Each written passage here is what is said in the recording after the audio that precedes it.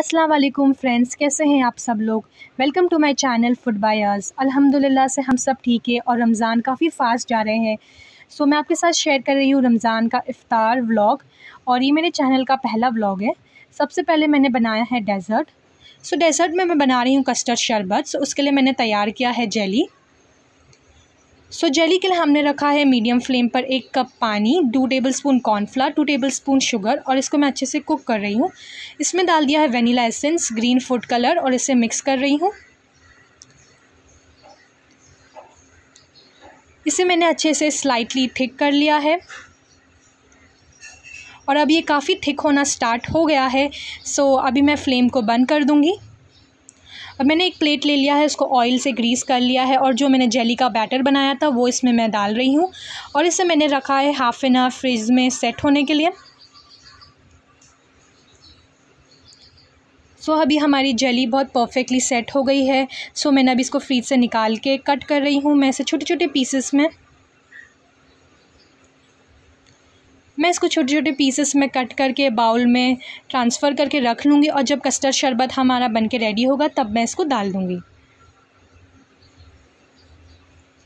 हमारी jelly perfect बन भी गई है। सो अभी मैंने लिया है थोड़ा सा पानी, उसमें डाला है सब्ज़ा सीड्स और सब्ज़ा सीड्स को सोख कर रही हूँ।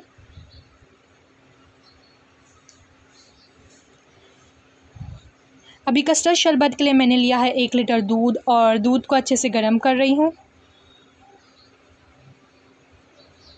उसमें डाल देना है वन फोर्थ कप शुगर।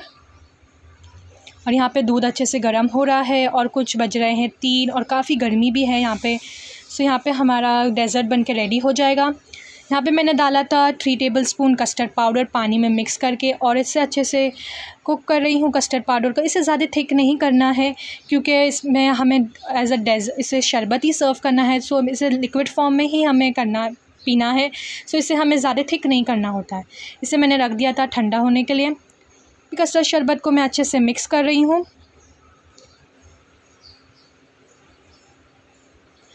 अभी मैंने जो जार में हमें इसे सर्व करना था, उसमें मैंने ये सारा शरबत डाल दिया है। इसमें डाला है थोड़ा सा बर्फ़ जेली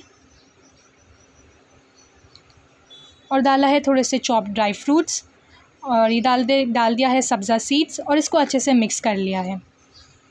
सो हमारा ये कस्टर्ड शरबत बन के रेडी है। सो इसे अभी हम इफ़ार में पियेंगे। और अभी हम बना रहे हैं चिकन बोटी कबाब सो इसके लिए ये है ग्रीन चिकन बोटी कबाब इसके लिए मैंने ग्राइंडर में डाला था ऑनियन ग्रीन चिल्लीस चाट मसाला, थोड़े से दालचीनी और नमक। और इसमें डाला था थोड़ा सा ऑयल और ये कुछ पुदीना और कोतमीर के पत्ते, धनिया पाउडर। जिंजर गार्लिक पेस्ट डाल दिया था इसमें और इसको सब अच्छे से वेल कंबाइन कर लिया था, थोड़ा सा ग्राइंड करके।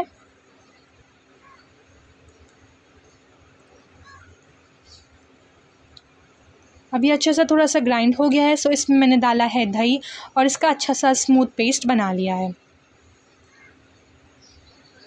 अब हमारा अच्छा सा स्मूथ पेस्ट बन के रेडी हो गया है सो मैं इसको डाल रही हूँ बोनलेस चिकन में। और मैंने इसको रख दिया था हाफ़ एन आवर मैरिनेट करने के लिए फ्रीज़ में।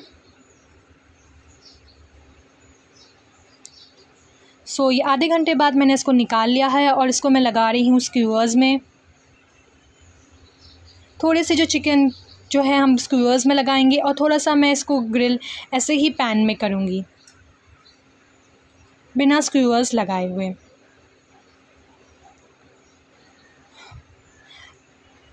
अभी थोड़ा सा ऑयल गरम करके मैं इसको डाल रही हूँ।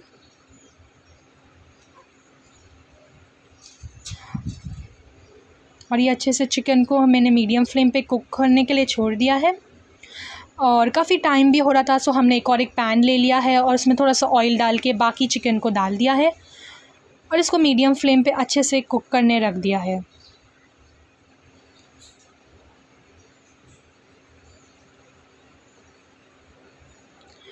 और हमारा जो मैंने स्क्यूअर्स डाले थे वो एक साइड से कुक भी हो गए हैं सो इसको मैं टर्न कर रही हूँ। ये मेरा पहला व्लॉग है सो मेरी थोड़ी बहुत गलती हुई होगी तो इसे इग्नोर कर देना प्लीज़ और ये हमारे चिकन अच्छे से कुक हो गए हैं। यहाँ पर हमारी मालपुआ की तैयारी स्टार्ट हो गई है। इसमें मैंने पाँच अंडे डाल के इसको अच्छे से फेंट लिया है। फिर इसमें डाला है एक कप पाउडर शुगर इलायची पाउडर इसमें डाल दिया है आधा कप मलाई, एक कप मैदा।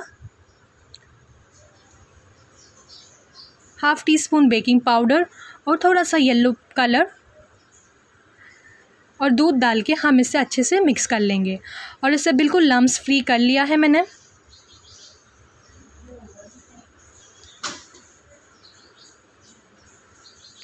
थोड़ा सा और दूध डाल के मैं इसको बिल्कुल लम्स फ्री कर रही हूँ।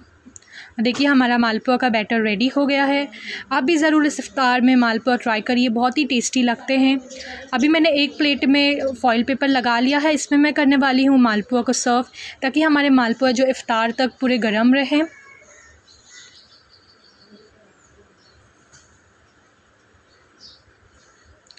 अभी मैंने एक पैन में डाल दिया था देसी घी, और यहाँ पे हमारे दूसरे भी चिकन के बैच कुक हो रहा है।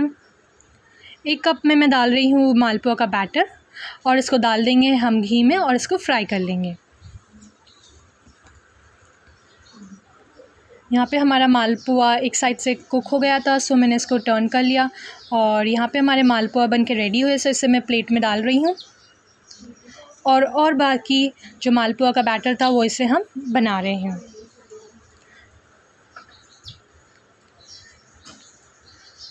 सो यहाँ पे हमारे मालपुआस बन के रेडी हो गए हैं। सो अभी हम बना रहे हैं मैंगो सालसा मैंगो सालसा के लिए मैंने कांदा टमाटर शिमला मिर्च को अच्छे से कट चॉप कर लिया था और इसमें डाला है कुछ मैंगो चॉप करके। इसमें मैं डाल दूँगी नींबू थोड़ा सा ग्रीन चिल्ली और नमक डाल के और अगर आपके आम खट्टे हो तो, तो इसमें डाल दो चीनी। और इसका एक अच्छा सा डिप हम बना के रेडी कर लेंगे। इसको हम सर्व करने वाले हैं नाचोस के साथ। सो यहाँ हम सब चीज़ों को कर रहे हैं ऑर्गेनाइज़। यहाँ पे मैंने कोल का तड़का भी लगा दिया है चिकन में और कस्टर्ड शरबत को डाल रही हूँ ग्लासेस में। और काफ़ी टाइम कम बचा है, सो हम दस्तखान पे सब चीज़ों को लगा रहे हैं। सब चीज़ें काफ़ी अच्छी बनी थी और घर वालों को भी काफ़ी पसंद आई थी। और आप भी इस रफ़्तार में ज़रूर ट्राई करिएगा हमारी रेसिपीज़ माशाल्लाह से सब चीज़ें दस्तखान पे लग गई है। अभी इस टाइम पे हम दुआ कर लेते हैं। यहाँ पे मैं करती हूँ अपने व्लॉग को एंड और आई होप आपको मेरी रेसिपीज़ अच्छी लगी हो, मेरा वीडियो पसंद आया हो। सो प्लीज़ मेरे चैनल को सब्सक्राइब करिएगा वीडियो को लाइक करिएगा एंड शेयर करिएगा। अल्लाह हाफिज़।